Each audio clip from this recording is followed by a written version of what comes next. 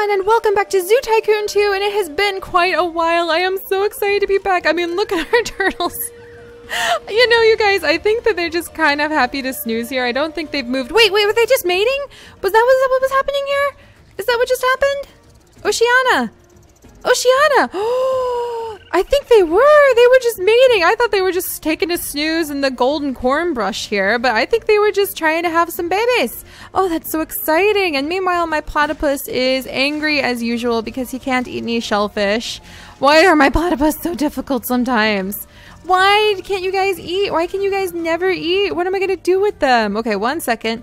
But hello, everybody, and welcome back to Zoo Tycoon 2. It has been a little while since I've been able to visit our beautiful Island Treasures zone, but don't you guys worry. That is just... Let's come over here. I probably made everything terribly worse, but I want to see if they can eat. Alright, let's heal. Let's replenish. Come on, you guys, eat! Oh my gosh, they're so cute. Oh my gosh, they're so cute! Look at them! The food is like right here. If you guys can't manage it now, I just don't know how to help you. I just really wouldn't know how to help you from here. And they have their baby somewhere, so I need to find where their baby is. Oh my gosh.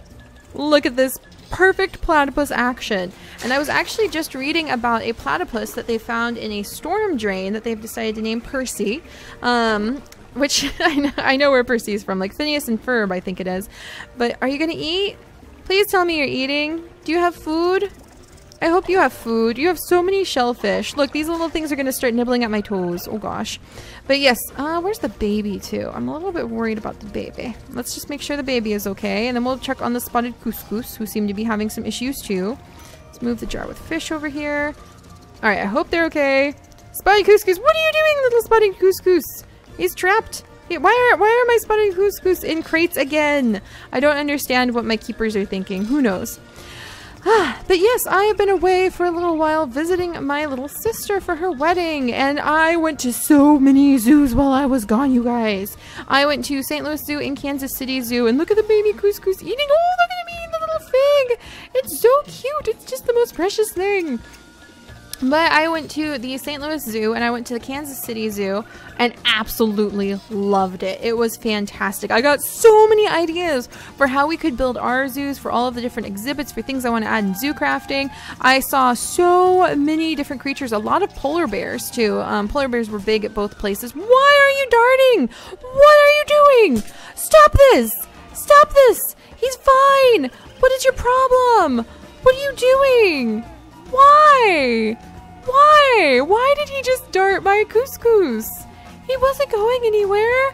What is wrong with this man? He just whips out a gun and like starts shooting my cuscus. Why are these people unhappy?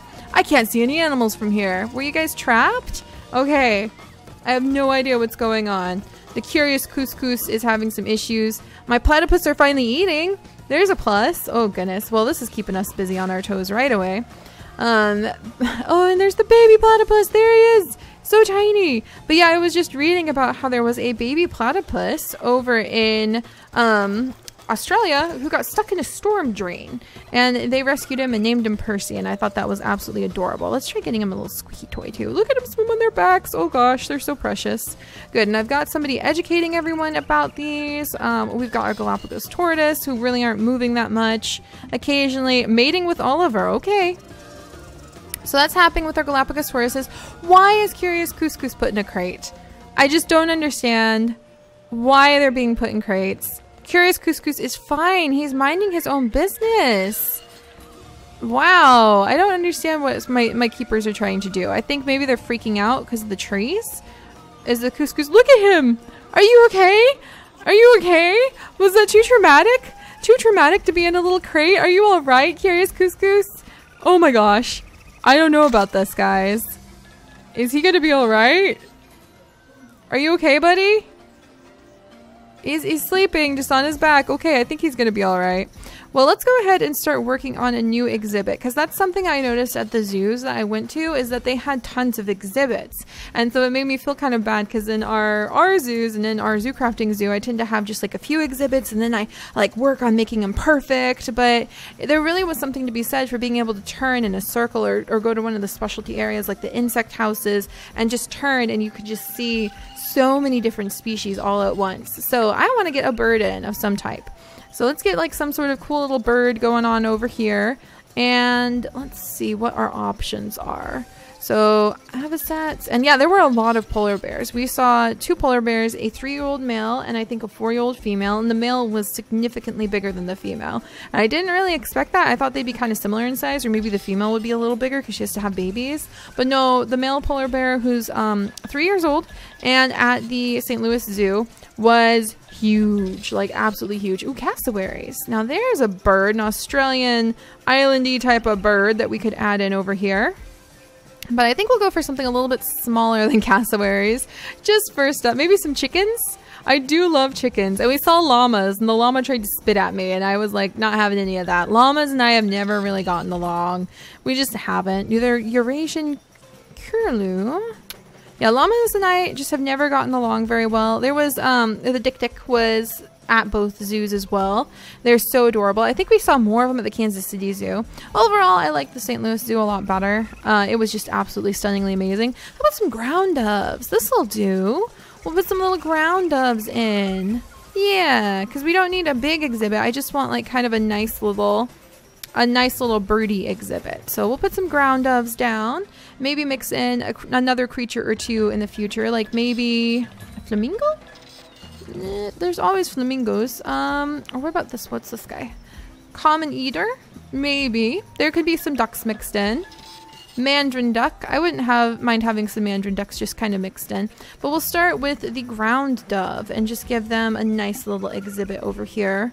Just to kind of mix in more animals. Because like I said, that's something I really noticed at the zoos is that there were a lot of different animals to be able to just admire and look at. All right, let's go ahead. We'll just do the this kind of pattern we've got going down. All right, hang on. Why are you unhappy, woman? I need to find a bathroom soon. I don't like this zoo. Oh, well, hang in there. We'll make it nicer. You just wait. You just wait and see. We're going to make this really nice zoo. Let's widen the path first thing. And the paths at St. Louis Zoo were really nice. They had like little paw prints and everything in them when we were walking in the uh, like African and Asian paths. And it was really fun to see the little paw prints. We saw a, a bush dog for the first time. I saw painted dogs for the first time in real life. And oh my goodness, they were so pretty. Um, I think I want to do actually like a low fence. Whoops, what am I doing over here? I think I want to put down like the hedge fences so this can kind of feel like more of a naturalistic area. And let's see. Yeah, the, the we saw the big cat exhibits. I got to kind of judge a lot of the different zoos we went to, and I have I am very critical with zoos because I believe if you're going to take the responsibility to have that animal, um, then you need to be like going above and beyond to make sure that the animal is going to have a very happy, wonderful life. So I'm very, very critical about the zoos we went to, and I was very happy with what I saw, especially at the St. Louis Zoo. All right, we're gonna do this right here, maybe? Like this, and then this can be maybe another area for something else. And then I need the hedge fence. So where's my little hedge fence? Here's my hedge fence. And see, I just kind of want to make it look sort of naturalistic. Like the little bird is just in there of its own its own desire. Oh, look at how pretty that is to let people in. Wow. Alright, well I'll put like one of the fencing pieces over there. And I think I'll put another one down here. And then we can make this a wall. Like maybe we can even put in... In fact, I think I'm going to go ahead and put in the big hedge fence. The big zoo wall. Right here. And this can be a privacy area for like whatever creature we end up putting down here. Um, and I might want to move that gate then. Who knows? We'll figure it out.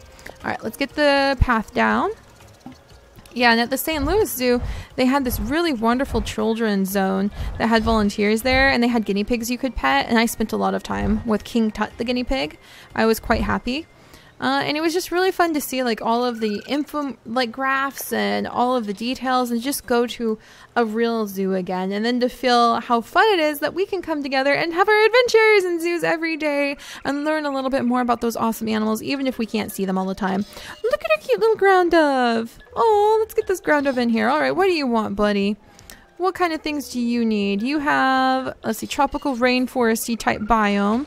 So we're going to set this ground up with a nice tropical rainforest biome. We'll get a little elevated nest box action going on in here for him. All right, let's put this one right there. And let's try putting this one like right here. And we can put a big tree right there in between. So trees, killy tree? Where's a good killy tree? Killy trees are just good, reliable trees for our animals' needs, it seems. All right, and we need to do this kind of over here. There we go. But yeah, so ground doves, what are your guys' favorite things to see when you go to a zoo? That's actually a really great question. Like, what do you know you want to see? I usually want to see the big cats, but I love giraffes. I had no idea that I was quite so enamored with giraffes until this trip, and I have discovered that I 100% am in love with giraffes. So I love seeing giraffes personally.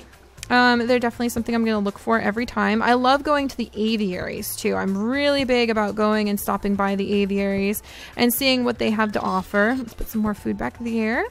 And then let's go ahead and put in, oh, the, the chameleon tree. How is that an enrichment item for you? Who knows?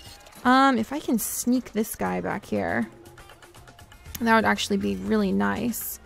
All right, can I put that there? But then my, my people aren't going to be able to walk over there. Hmm dilemmas. I could put this over here, but then my people aren't going to be able to walk over. I could put it over here. There's an option. How on earth is that even a thing? Can I really put it there? Okay. Okay, Misty Spring. If you want to go there, you can. I'm going to have to rearrange some things so that my crew can walk over. Alright, I'm going to have to do this instead. And there we go, so that my people can walk in here. But I think that'll be okay. I want to put this at an angle to make it a little bit smoother. Because we're going to put in some ground doves. But it was really fun. I love going to the aviaries. Why are you guys putting my cuscus in crates? Is it because they're trying to get out from, like, the trees? Maybe I need higher fences? We'll see. We will see. We might have to build a whole new cuscus area because they're starting... Maybe I'll put the cuscus over here because they're starting to multiply so quickly that I'll need a little bit more room for them.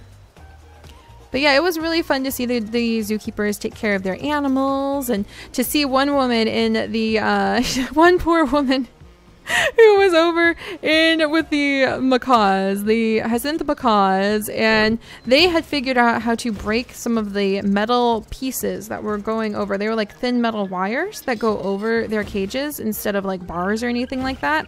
And they had recently figured out how to rip those out of their fittings. And so she had to go in there to try to fit the pieces back in place so that the birds couldn't escape. And they were like diving at her because they thought they they were proud of their work. They didn't want her to fix it. And so she had a broom and she had to fend them off with a broom while they screamed their heads off at her so that she would be able to go in and fix what they had done and keep them from escaping. And they were very smart and you could tell that she liked them, just not at that moment while she's like dodging them as they're trying to like bite her and trying to escape from their little area. But they had beautiful exhibits for the birds. I have always loved the St. Louis bird aviary area. So that was really fun to go see, even with all the chaos. We actually took a nap in there because when you go to the zoo on a Wednesday in the middle of winter, no one's there. No one's there at all. So we managed to really just relax and have a great time. It was like having a private zoo tour. I didn't get a chance to interview any of the zookeepers, which is something I want to start doing so you guys can enjoy that too. But we'll get there. Guests can't find an ATM. Always a wonderful problem to have, if you ask me means people want to spend more money here. Ooh, look at this. Ooh, that's a really nice one. I'm just going to casually put this one right here. And then let's see if we can find any other plants to sneak in here. The New Guineas impatiens uh, is always pretty. Don't need too many of them. All right, maybe another one back here. Just a little bit more color. Splash of color. Ooh, mushrooms. Mushrooms are always good. I always like putting mushrooms next to the watery areas. And then let's see. That's the lamb piece. Swamp lily. Holy moly, look at the size of it. Can I put this over with our... I'm going to put this... Why do you guys have balloons in your exhibit? I'm going to put a swamp lily in with them. They're like cool. They like the swamp lily. Okay. Um. All right, we have the orchids. All right, I'll put down like a couple orchids. There we go. Then we need to change the biome in here. And maybe a couple of these things. Little, little plants, little plants. There we go. It's just nice to have just a little bit of green tucked here and there. There! I think our ground doves will enjoy this. Good. They've got the food, water, some entertainment. Um, and let's go ahead and I want to change what the exhibit looks like. And it was really fun to see how many of the creatures were so hardy because it was kind of cold when we went and there were a ton of the birds who they could have cared less They were enjoying themselves. They didn't notice. The owls were like kind of just peering at us. Uh, the ducks could have cared less that it was chilly. The tigers cared less. The giraffes can't really endure a lot of like sharp temperature shifts. So we actually went into the giraffe barn and that was like one of my favorite moments of the whole trip. So yes, it made me think about our zoos quite a lot and how we could build up our zoos and show them off and kind of pack in more exhibits. So on that note, let's add in the beautiful little ground doves. Aren't they just so cute? Let's just put a whole bunch of them in here. All right, we'll put in like um, five little females, maybe three or four little males. There you go, little ground doves. There you go. And Blue is now pregnant. Sweet. All right. And then maybe just a couple other things. Maybe that's a lot of ground doves. Maybe we didn't need that many ground doves. I'm gonna I'm gonna go ahead and adopt out a couple ground doves because we probably didn't need quite that many ground doves. And I kind of want to add in another type of bird. Let's go for something that's a little bit brighter. Um, that stands out a little more, even if it isn't entirely with the theme of like the island treasures that we're doing. Scarlet Ibis. Oh, I'm a sucker for Scarlet Ibis. I really am. I don't know if this is a very good Scarlet Ibis area though. It's more of a bigger bird area. Ooh, look at this guy, the Chaetosaurus. Wow, that's cool. All right, let's keep moving. Find a bird. Find a bird. There's a lionfish. Saw a lot of lions. There's a Spanish lynx. I did not see any Spanish lynx actually. Um, maybe some of the Spix macaws? Perhaps? Is this area good for him? I think this area is good for him. Alright, we can put down like a little squeaky toy. And why not? Let's put in a let's put in a male and a female Spix macaw. Just to add a little splash of color. Oh, because we have no money. Never mind. Let's go with something a little bit more affordable. that's that's kind of an investment for the future. I really needed to pay attention to how much money we have. The Indian blue peafowl might be kind of fun. In fact, let's just put in one peafowl. Like one handsome male and one female. And flash of color that we need over here. There we go. Oh my gosh, look at this child and his adorable hat. I didn't even know we had these hats. Oh, I'm in love. All right, so I think we did pretty good, except for the fact that this part of the zoo looks like a barren wasteland. And this part is looking much better though. So let's come in and give everybody a little bit of a scrub-a-dub-dub. I like, it looks like our keeper can get in and out. Zoo personnel, wonderful. I might need to make like a little path over here. All right. And I like it. See what I mean? It just looks like a nice little naturalistic area that is sort of set off to the side. This kid's enjoying it. Oh, let's get some benches over here. Oh, that would be so cool. All right, let's get some benches over here. Maybe put like a little bench right there. Maybe a little bench. Um, mm, maybe not right there. Maybe like right here in front of the bathrooms. That makes sense to me, like have a bench right in front of the bathrooms. And there's a bunch of people lined up. We really need to get some restaurants pretty soon. All right, what do you think, Kidlet? And Blue is gonna go give birth. Okay. All right, Blue. We have so many kangaroos. Why is Platypus too sick? Who knows? Because they won't eat. Why? I don't understand. I don't understand. Hopefully they'll take care of themselves. Do I need to move you? Are you stuck? Come and eat. There we go. Hopefully that'll help. And Old Salty is doing fine. And this looks great if you ask me. And we've got a new beautiful peafowl over here. So this is really pretty because you can just come over and just kind of see the birds hanging out in their beautiful little spots. Can we get the peafowl to like spread his beautiful wings? Show off his lovely feathers? I saw a lot of peafowl at the Kansas City Zoo, but only males, interestingly enough. I didn't see any females. And they were all separated. Alright, so let's come over. Hello, handsome. Why, hello, my lovely birds. So a little garden of birds is what we have just completed. But alright, you guys, so I'm going to start looking up some facts about the animals that we are adding into our beautiful zoo so that we can continue to educate ourselves about the beauty of the natural world as we continue to build up our zoo with our very stubborn platypi. Oh, goodness. And here's a good question for those of you who are experienced in platypi trivia. How many platypus are estimated to be out in the wild? I would love to learn that. And I really, I hope we can get them eating soon. There's the baby. You see the little baby? There he is. This platypus is walking on water. Oh gosh. Well, we'll figure it out eventually. Maybe they maybe they can't get in the water anymore. All right. Well, I'm going to wrestle with the platypus issues, and then we will be back here next time to learn more about the animals that we are adding in, to give the spotted cuscus perhaps a bigger exhibit, and to try to just educate ourselves some more about some cool facts. And if you guys have any rattling around in your brains, please feel free to share them in the comment sections below. So I'll see you guys next time. Bye-bye.